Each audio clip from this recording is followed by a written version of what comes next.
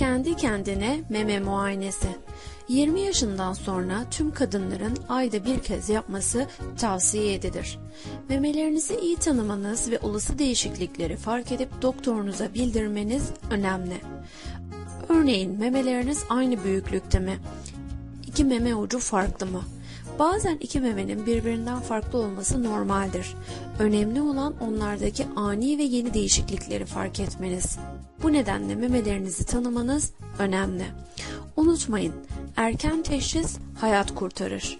Kendi kendine meme muayenesi için her ay kendinize 10 dakika ayırın. İşte muayenenin en kolay yolu. Kendi odanızın konforunda tek ihtiyacınız olan bir ayna. Aynanın karşısına geçin, kollarınız yanlardayken memelerinizde değişiklik var mı inceleyin. Şimdi aynısını kollarınızı yukarı kaldırarak yapın. Elleriniz iki yanda belinize bastırırken öne eğilmiş pozisyonda memelerinizdeki değişiklikleri inceleyin. Her pozisyonda hem sağa hem sola dönerek her iki memede şu farklılıklara bakın. Memede şekil değişimi, deride kızarıklık, portakal kabuğu görünümü, çekinti ve iyileşmeyen yara ve meme ucunda çökme, içe çekilme, pullanma, kızarma gibi. Yatar pozisyonda omzunuzun altına ufak bir yastık veya havlu koyarak değişimlere bakın.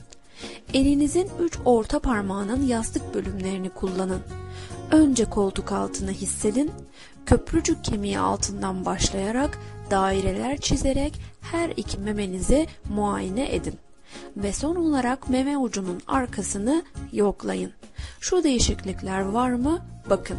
Meme veya koltuk altında kitle, memede sertleşen bölgeler, deri görünümü ve renginde değişiklikler.